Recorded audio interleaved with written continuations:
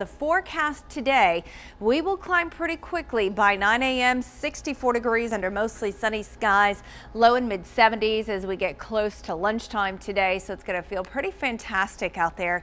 And then as we head into this afternoon, near 80 by 3 and 4 o'clock probably climb into the low 80s in between hours and so official high temperatures will likely get into the low 80s this afternoon.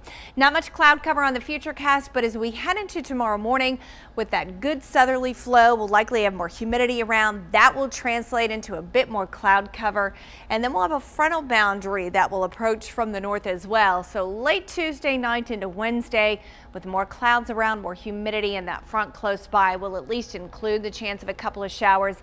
And I don't necessarily necessarily think the humidity is going to go anywhere this week. And so uh, for Good Friday, too, we may have a little bit of a better chance for a spotty shower, but no big rains in the forecast for the remainder of the week.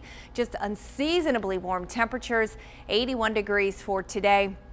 Tuesday and Wednesday will both go with low 80s, at least that chance of a few spotty showers on Wednesday, and then some low and mid 80s expected Thursday and Friday.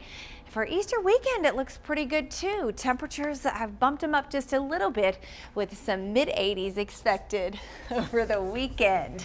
Today is National